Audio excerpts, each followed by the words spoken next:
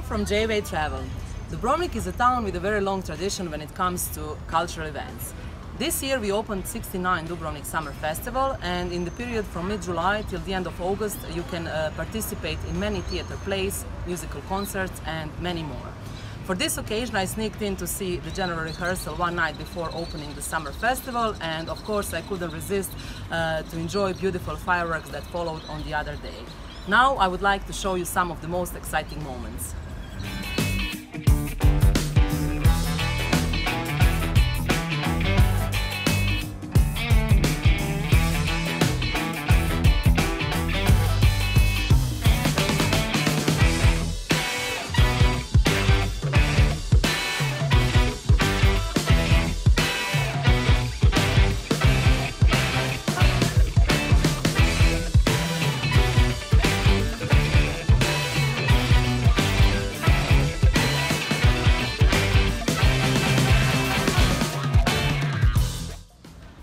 Is Andrea and I'm local city host in Dubrovnik. I'm also a member of Lindjo Folk Ensemble, which performs not only during the summer festival, but throughout the whole year.